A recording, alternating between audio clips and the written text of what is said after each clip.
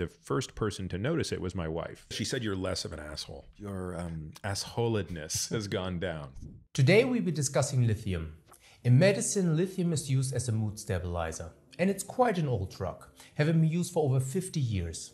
It is primarily employed in treating bipolar disorder, a condition affecting up to 3% of the population. Bipolar disorder is characterized by periods of mania and depression, two states that could not be more opposite. Mania is characterized by, well, let me show you. I got it. The million dollar idea. Clothes for fish in your aquarium. I mean, what could go wrong? They must be so cold in that aquarium. Plus, people with aquariums must get tired of looking at them the, the whole time. Same colored fish every day. I mean, sweaters, hoodies, shoes, everything, everything. It's drilling, it's drilling. Ah, stop the drilling! This wall looks so naked. You must paint it. My favorite colors green, green, green, money, money, money, money, money, money, money. Oh, I forgot the day trading. The day trading, the new Chinese startup is supposed to go to the moon. What do I have left in the bag? One thousand dollars. One thousand dollars. Well, I will take out a loan and put it all in. I mean, what could go wrong? What could go wrong? A million dollar idea. How about I go to China? What, what time is it? The medication. I forgot to take a medication. Doesn't matter. I don't need it. I feel I never feel more alive like this. Besides mania, bipolar disorder is characterized by episodes of depression. This depression is so severe that up to 25% of patients suffering from bipolar disorder attempt suicide. There are two types of bipolar disorder bipolar 1 and 2. In the first type, the highs and lows are more extreme, whereas in type 2, they are somewhat moderate. Interestingly, many celebrities suffer from bipolar disorder, and you might wonder if this disease is part of their creative genius.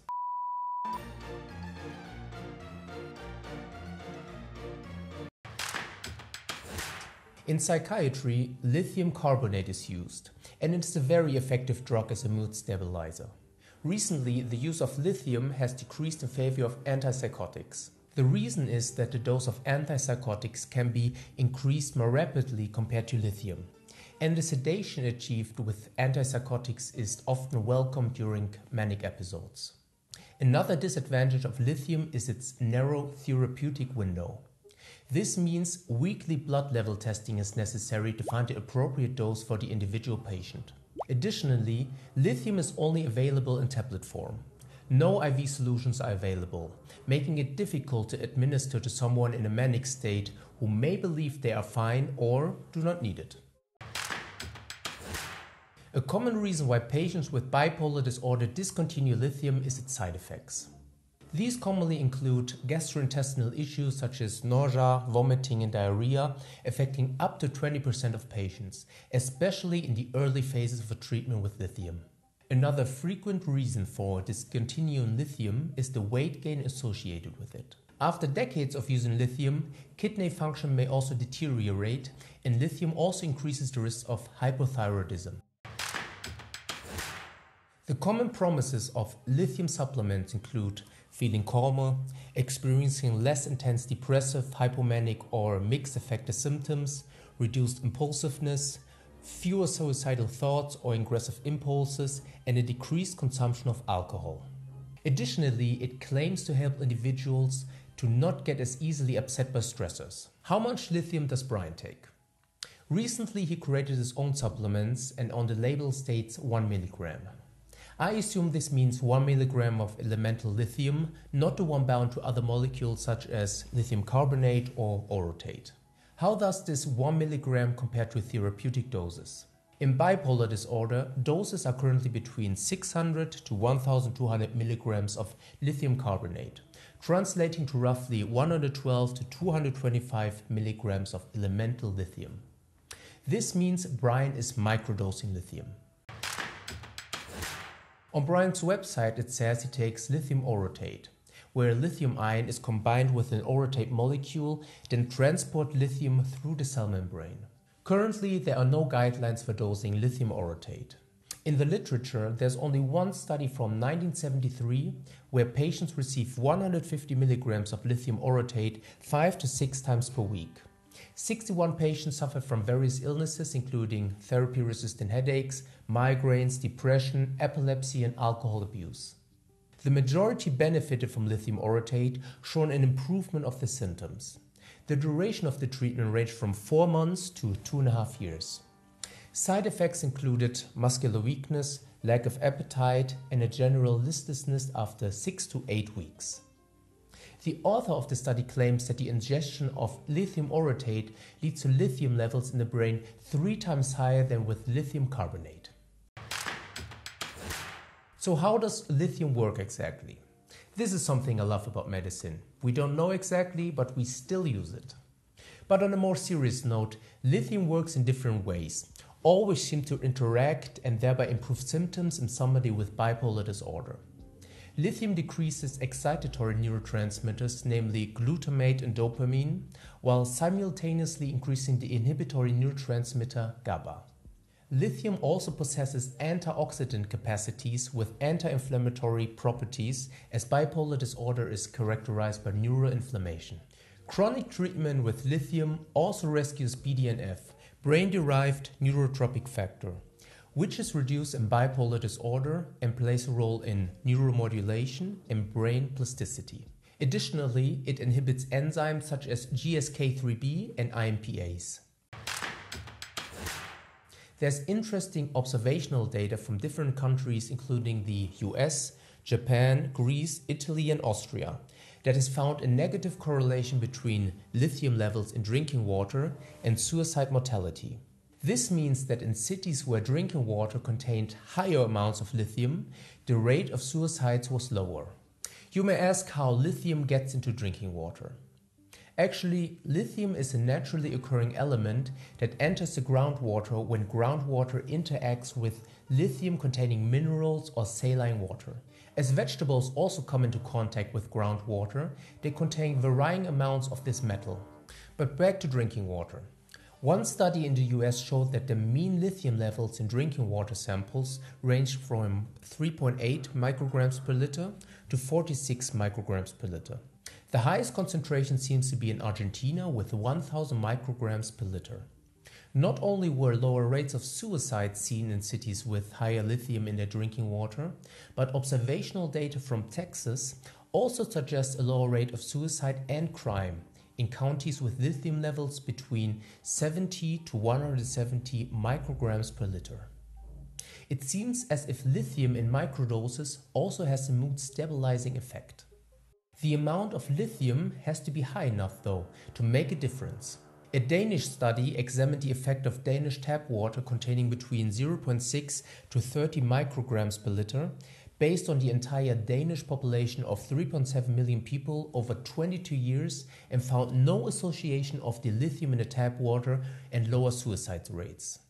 The reason may be that the amount of lithium was too low. Similar studies finding negative results also had lower amounts of lithium in the tap water, for example in East England with 21 micrograms per liter.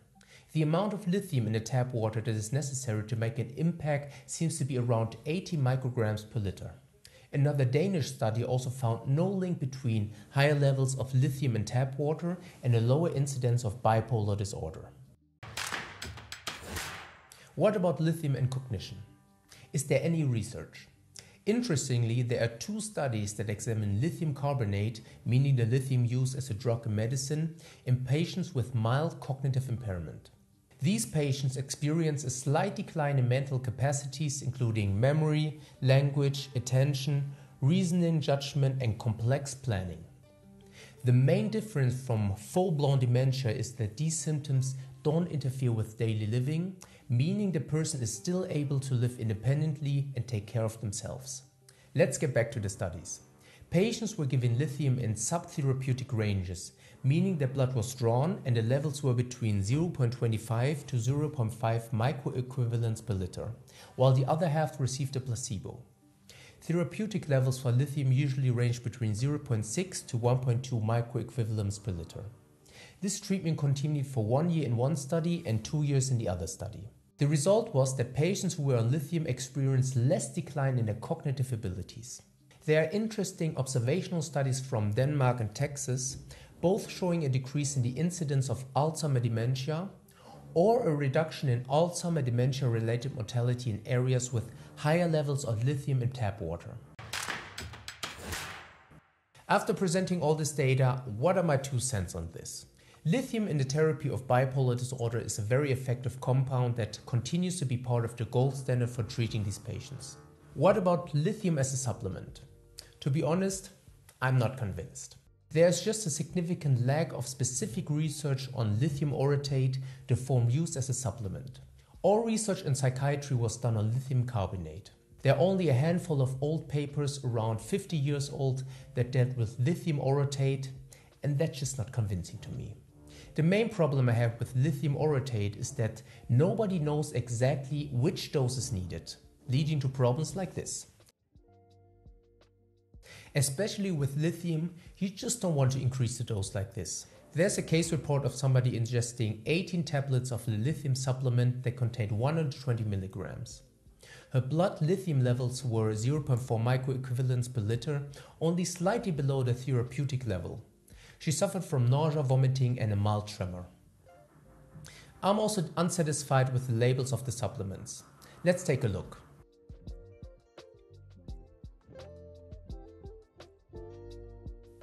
What I'm missing is the amount of lithium orotate and the amount of elemental lithium in it. The same applies to the studies on drinking water. These are observational studies. Are we sure that it is the lithium in the drinking water that causes these correlations, or is it something completely different? Perhaps lower unemployment rates in cities with lower suicide rates, or better access to mental health facilities? Or could it be something that we don't even have on our radar? Does lithium orotate even work the same way as lithium in tap water? I just don't believe in giving lithium to people blindly based on its data, especially if it is a compound that does have serious side effects over the long term.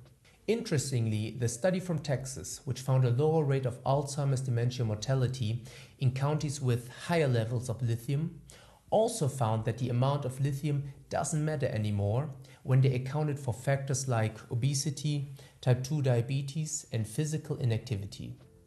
Maybe there's a benefit for lithium in these cases, as there seems to be for mild cognitive impairment, but other interventions may offer a better bang for your buck.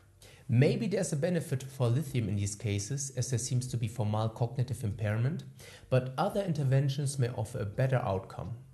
It is just that people prefer comfort over breaking a sweat on a treadmill. They want to solve everything with a small white pill. Well, it's your life and thereby your choice.